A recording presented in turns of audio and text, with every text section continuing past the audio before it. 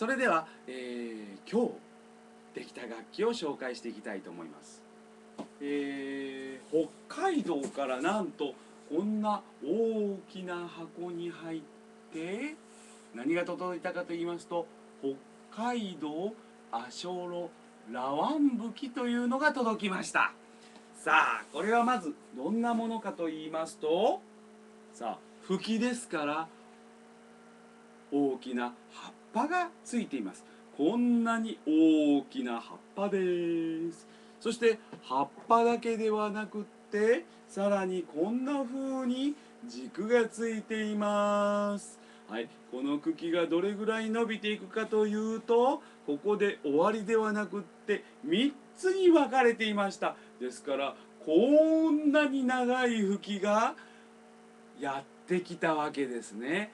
はい、えーそして葉っぱがこういう風についていたわけです。はい。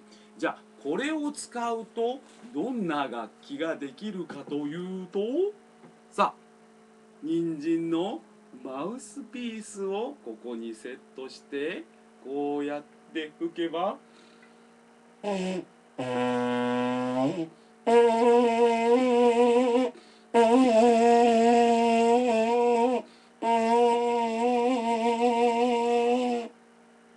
ブブゼラの完成です。日本頑張れ。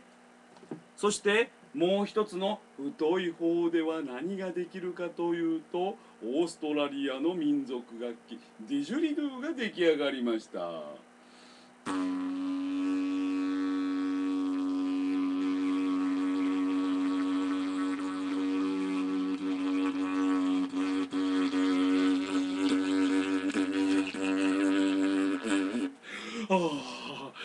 さあラワン武器でこんな楽器ができました。それではまた今度。